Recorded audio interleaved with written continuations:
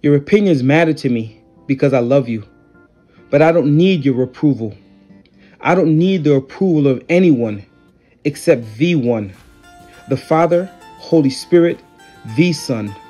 I'm held accountable to my Maker who made me in their image, and I'm concerned about how I conduct myself, so I yield to the Spirit of holiness that I may bear His fruit, which will in turn benefit you. The Creator is preeminent, none come close, and yet I've been given the desire to serve all who are under Him, and we are all under Him. Under sin, we are hopeless and carelessly defying our Maker, blind to the most expensive war we have waged with no difference. I'm no mathematician, but the price is right, as we are all wrong. The price of Christ made it all right. Yes, I'm more than all right. I'm forgiven.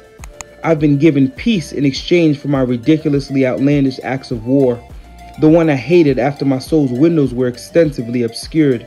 He restored my sense of vision revealing truth. I hated him and hated myself, even though my words spoke the contrary.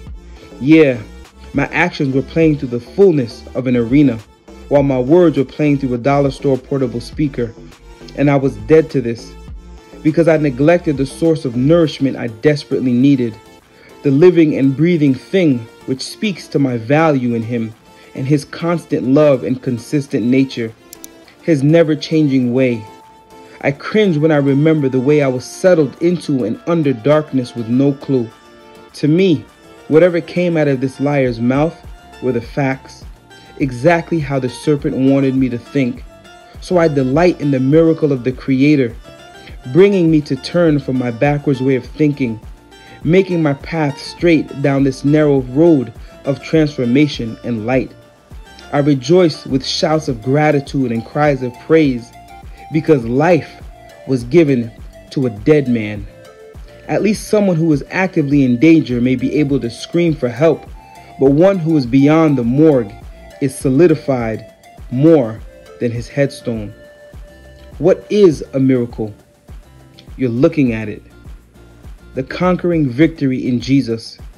Victory over my old ways. Victory over my own thoughts, victory over my desires, victory over lies, victory over demons, victory over the enemy, victory over death. And every day I choose victory.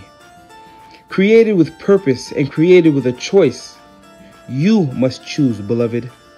As you are chosen, so choose life over death, which is Christ over the rest. Some evade taxes, but none can escape death. We spend a lifetime ignoring life signs. When it's your life's time, Mr. Regis's connection can get you a lifeline. All of life's time, and you tell yourself, it doesn't matter what comes next. But yet, we are the epitome of upset with death threats. And in a life worth living, there are death threats at funeral homes and hospital bed sets. You've had a mass multitude of opportunities to repent. Every day is a chance to turn from your sins. How many days have you had up until now? And when you die, you're going to say it wasn't fair. When even more specific than that, every hour was given for you to make peace with God. 24 hours in a day, and 168 of them in a week. We are all weak, but He is overwhelmingly strong. We are undeniably wrong. That's why we're like this. We think it's just ISIS, but none of us righteous without Him. This is a call to everyone who has turned from God the Father. We have all turned from God the Father. Don't compare your deeds to the Godfather, because magnitudes are measured in singles.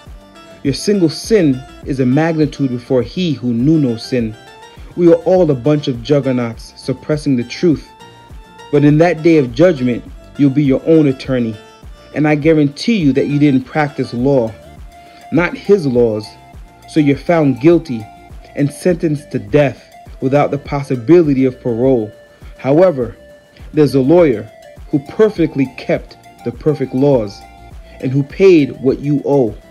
No Christmas wish list but his gift even if Vladimir Putin, Hitler, and I were one person, all we would have to do is believe it. And just like any other gift, receive it. By Jesus' blood, our sins are washed away and we're made clean, made over, and made new. Who knows if you'll make it to the end of this?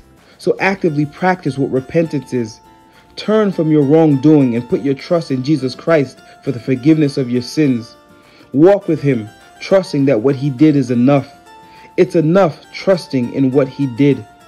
And here's the takeaway don't take away from what Jesus accomplished in death, and don't add to it either. The Holy Spirit will enter you and testify you're a child of God and a born again believer. Today is your day of salvation.